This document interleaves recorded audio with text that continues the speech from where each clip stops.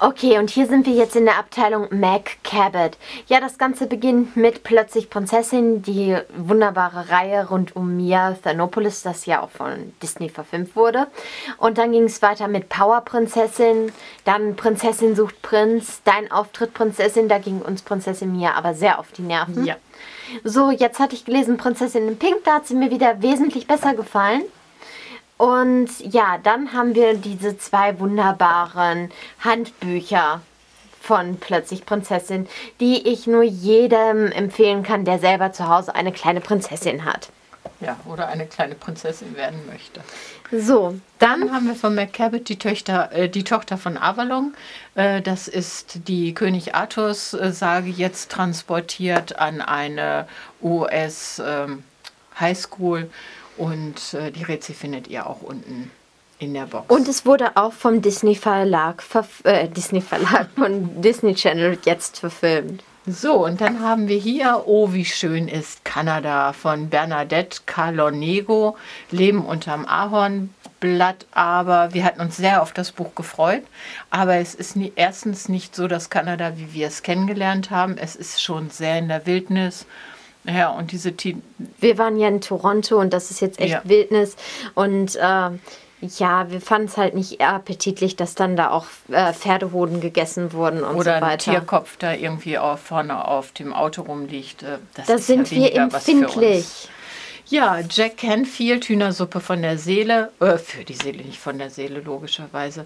Äh, das sind sehr, sehr schöne kleine Geschichten, die motivieren, die wieder Mut machen, die ein bisschen Hoffnung geben, sind immer zu verschiedenen Themen. Das ist hier jetzt zum Thema gute Besserung. Dann haben wir hier Hühnersuppe für Körper und Seele, Inspiration für ein gutes Leben rundum und noch mehr Hühnersuppe für die Seele, Geschichten, die das Herz erwärmen. Davon gibt es ja ganz viel für Frauen, für Teenager, für Mütter. Weiß der Kuckuck, die Geschichten sind wirklich sehr, sehr schön. Auch etwas, was wir gerne mal verschenken zum Ja. Geburtstag. So, dann haben wir hier von Ashley Carrington, Fluss der Träume. Ist schon ganz lange her, dass ich das Buch gelesen habe. Ich meine, es handelt von einer Frau, die sich so ein eigenes Geschäft aufbaut. Äh, Ja. ja. Alice im Wunderland, Lewis Carroll. Dazu, muss man nichts mehr sagen. Das Nein, sollte lassen bekannt wir sein. einfach mal so stehen. So, die Bette Davis. Betty Davis, die Biografie von Charlotte Chandler fand ich sehr schön. Hat mir richtig Spaß gemacht, die zu lesen. Ähm, obwohl ich mit den Filmen nichts anfangen kann von dieser Frau, hat mich doch die Frau und ihre Ansichten ähm, sehr, sehr fasziniert, inspiriert. Und ich fand diese Bio einfach gelungen. Obwohl ich jetzt da, muss ich aber gestehen, die Teile, wo einfach nur die Filme beschrieben wurden, die sie gedreht hat, weggelassen habe oder nur überflogen. So, dann ein Buch, auf das ich mich total gefreut hatte. Amit Chaudhuri, Mrs. Sengupta will hoch hinaus. Für mich und meinen Indienknall natürlich genau das Richtige, dachte ich zumindest. Aber das Buch geht sehr auf die indische Musik ein. Ich habe es bis dahin geschafft und dann habe ich fürs Erste die Segel gestrichen.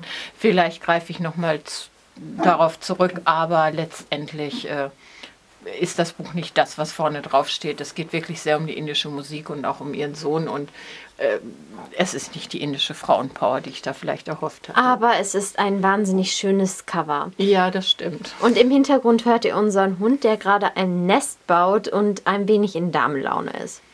So, Steven Schabowski, das also ist mein Leben. Hat mir richtig gut gefallen, ist ein wenig wie der Fänger im Roggen, nur völlig anders geschrieben. Also die, der Schreibstil ist ein völlig anderer. Und ähm, mittlerweile gefällt mir das Buch auch noch wesentlich besser als der Fänger im Roggen. Aber dazu dann irgendwann, wenn wir beim Fänger im Roggen sind. So, dann haben wir Menschen, die die Welt bewegten. Albert Schweitzer, Kaiserin Josephine. Ganz klar, obwohl Albert Schweitzer natürlich jemand ist, vor dem man absoluten Respekt haben sollte, geht es für mich dabei um Kaiserin Josephine. Die wird euch in den Bücherregalen noch häufiger begegnen. Dann habe ich hier von Imogen Chichester, Trixelinchen Hexenkind, auch ein Buch aus meiner Kindheit, das ich aber im Laufe der Jahre verloren hatte. Ich habe es mir dann auf Ebay Gott sei Dank wieder zurück oder konnte ich es mir ersteigern. Eine ganz, ganz entzückende Geschichte um eine kleine Hexe, die mit ihrer Mutter und ihrem Vater gerne ja ein bisschen näher am Dorf wohnen würden. Und äh, der Vater ist aber sehr konservativ, der will das nicht so gerne. Äh, ist ganz bezaubernd. So, dann ähm, Ja, das hat man auch gelesen. Ja, Susanna Clark, Jonathan äh, Strange und Mr. Norrell. Das gab es ja einmal in Weiß mit dem schwarzen Rahmen und andersrum.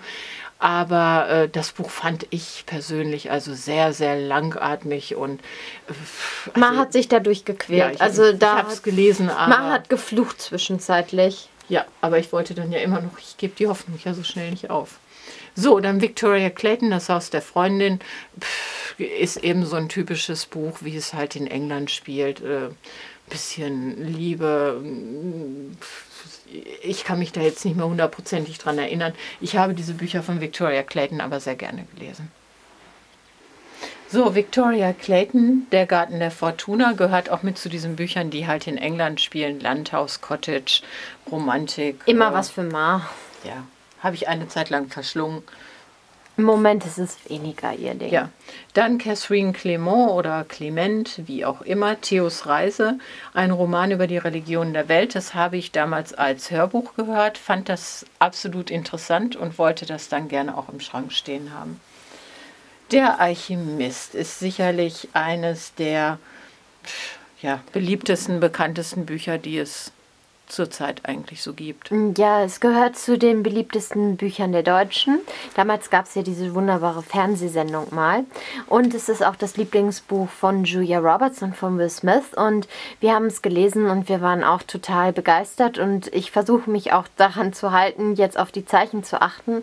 Ähm, denn äh, ja, wir haben damit schon Wundersames erlebt und äh, es ist, äh, also wir sind gut, fahren gut damit, wenn wir auf die Zeichen achten.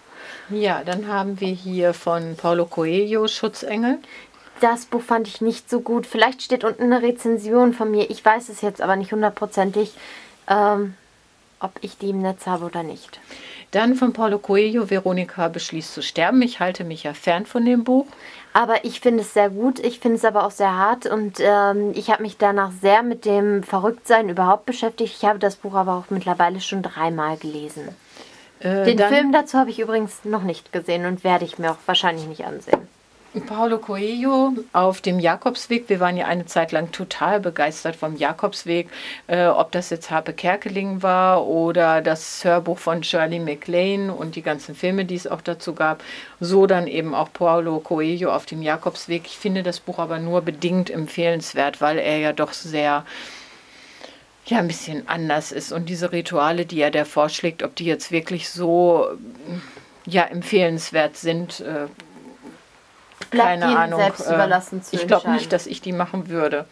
Äh, Eowyn Colfer, Artemis Fowl, wurde ja damals gefeiert als der Nachfolger von Harry Potter, was natürlich äh, dem Buch mit Sicherheit keinen Gefallen getan hat, denn es ist völlig anders.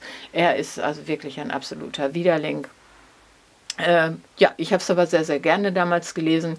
Äh, Sina mochte äh, ich ihn überhaupt schon, nicht. Ich habe es jetzt ein paar Mal schon probiert und ich will dieses Buch eigentlich mögen, aber äh, ich breche es immer wieder ab. Ich habe aber auch nach dem dritten Band, ich weiß gar nicht, wie viel es jetzt mittlerweile davon gibt, habe ich dann auch äh, ja, die Segel gestrichen und aufgegeben.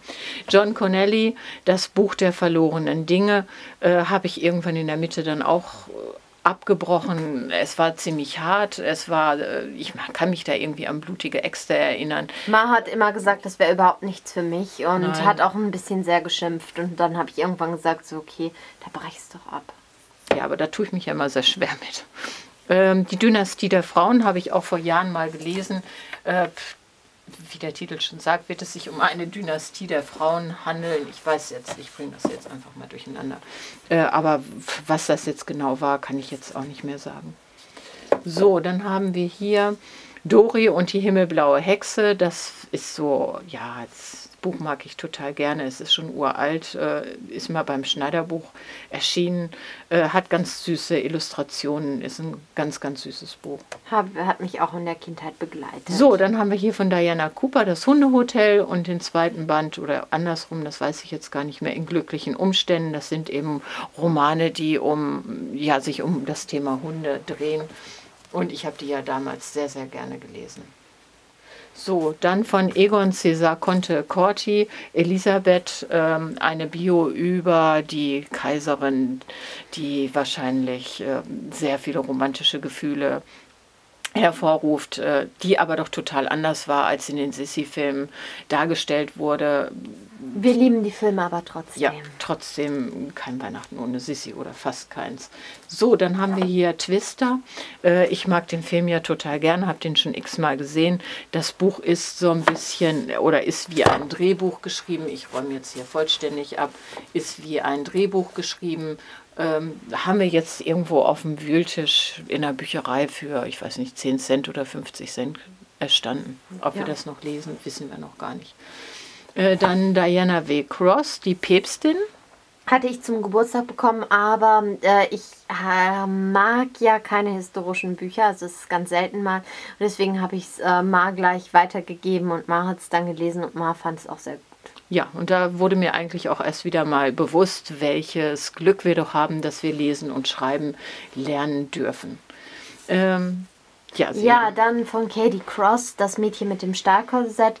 Ähm, ich liebe ja Steampunk, also das ist ja mein kleines Steckenpferd. Ähm, ich, aber dieses Buch konnte mich da nicht restlos begeistern, aber dazu gibt es auch eine Rezension, die unten in der Infobox dann auch verlinkt ist. So, und dann na, was ist denn das?